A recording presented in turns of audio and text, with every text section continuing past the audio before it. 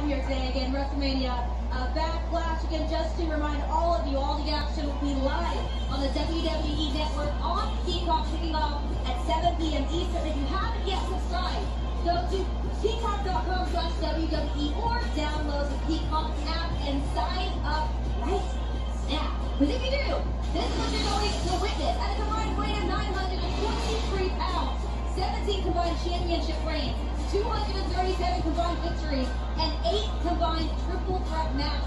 But it's tonight, triple threat match that will determine who walk out as the WWE champion. That's right, and Bianca Belair had an amazing night at WrestleMania, but she's back on it because she has to deal with her role model, Bayley, as she defends her SmackDown Women's Championship.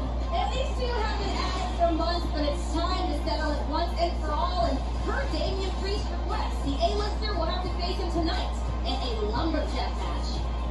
And I'll tell you, Sheamus is always looking for a fight tonight. He's issued an open challenge to the entire WWE locker room. By the way, that open challenge is streaming live right here on the WrestleMania Yeah. Backlash Kickoff Show. All right, and Dominik Mysterio will attempt to become the first ever father and son tag team champions in WWE history when they challenge SmackDown tag team champs Dolph Ziggler and. It's not easy being the champ, and Rhea Ripley is finding that out firsthand as tonight she defends her Raw Women's Championship against Asuka and Charlotte Flair. And Cesaro will finally get an opportunity to swing Universal Champion Roman Reigns out of his spot as head of the table when the Swiss Superman challenges the Big Dog tonight at WrestleMania Backlash.